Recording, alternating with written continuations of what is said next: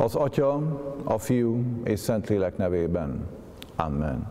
Olvasom Isten igéjét, a Péter apostol második levele, harmadik fejezetének tizedik verséről a tizennyolcadikig terjedően a következő képpen. De el fog jönni az úrnapja mégpedig úgy, mint a tolvaj, amikor az egek recsegve, ropogva elmúlnak, az elemek égve, felbomlanak, a föld és a rajta levő alkotások is megégnek. Mivel pedig mindezek így felbomlanak, milyen szentül és kegyesen kell nektek élnetek, akik várjátok és siettetitek az Isten napjának eljövetelét, amikor majd az egek lángolva felbomlanak, és az elemek égve megolvadnak.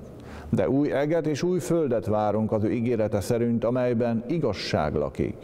Ezért tehát szeretteim, mint hogy ezeket várjátok, igyekezzetek, hogy ő tisztának és fedhetetlennek találjon benneteket békességben.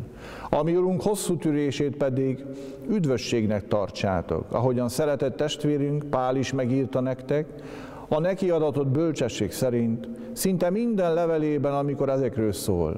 Ezekben van néhány nehezen érthető dolog, amelyeket a tanulatlanok és az álhatatlanok kiforgatnak, mint más írásokat is a maguk vesztére. Ti tehát szeretteim, mivel előre tudjátok ezt, vigyázzatok, hogy az elvetemültek tévejgései el ne sodorjanak, és saját biztos meggyőződéseteket el ne veszítsétek. Inkább növekedjetek a kegyelemben, és ami Urunk üdvözítő Jézus Krisztusunk ismeretében, ővi a dicsőség most és az örökké valóságban. Eddig tart Isten igéje. Amen.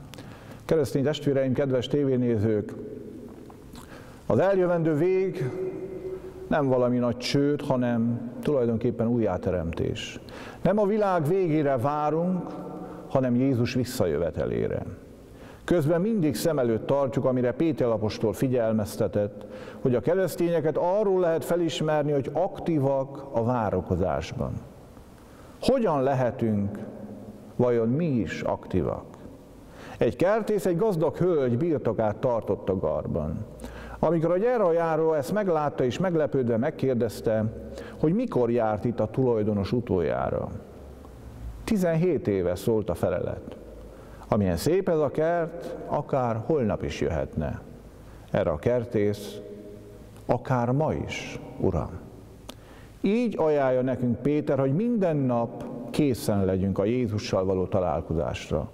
Ehhez az, az is hozzátartozik, hogy növekedjünk. De nem tőle függetlenül, hanem úgy, hogy egyre inkább az ő megbocsátó kegyelméből, szeretetéből és jóságából éljünk.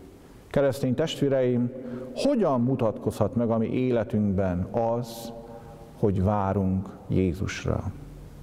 Ő ajándékkal teli kézzel vár a mi üres kezünkre. Ma is, most is. Mindörökké. Amen. Erős várom Istenünk.